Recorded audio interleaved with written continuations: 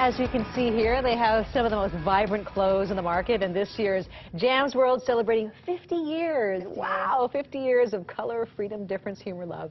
Well, joining us this morning is uh, Mona Harrell, also uh, Caitlin, Kyla, uh, also here to show some of the fabulous styles and reigns that you guys have. So, uh, what, are you, what are you celebrating today? Aside from the uh, 50th anniversary, this is a new um, spring uh, line too, right? Yeah, so this is our spring to 2014 collection, and we have Caitlin wearing our seaside tunic, which is a dress slash blouse slash beach cover-up in our aubergine um, fabric.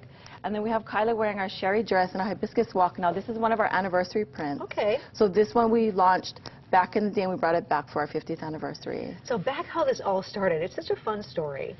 Yeah, so the owner of our company, the, the founder actually of our company, um, couldn't find a pair of board shorts that he liked. So he was inspired by a, a magazine cover on, on Life magazine.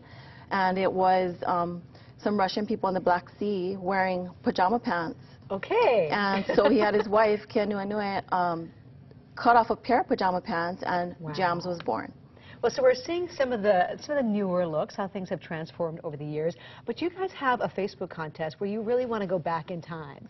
Yeah, so in celebration for 50 years, um, we're doing a Facebook contest, and we want our fans to post pictures of themselves back in the day, current, and we just want to see what, you know, the evolution over the years, and whichever picture gets the most likes will be the winner of the giveaway. Very cool. Yeah. I know you're saying what the giveaway is yet. Well, they can go to the website, jamsworld.com, for more details. Okay. Yeah. So how would you how would you describe how the style has transformed and or stayed the same over the years? Well, Jams World, um, as you know, is definitely about color. So Yeah. we've kept that, you know, on throughout the 50 years.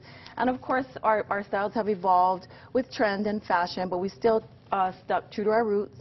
It's a beautiful resort collection and with lots of color, and it takes a special and unique type of person to be able to wear that type of color. So what else are you looking for these days to find the inspiration to continue on? I mean, it's it, like you said, it's so color- colorful, it's so bright. So what we, everything is art driven. So what we really try to do is feature the art in the prints. So we try to keep our simple, yet fashionable and trendy, um, but really feature the art and the color. Well, uh, stunning work. So glad you guys have been around for so long. It's so fitting here in Hawaii. Yeah. Thank you very much for Thank you joining for again. having us. check out their Facebook page.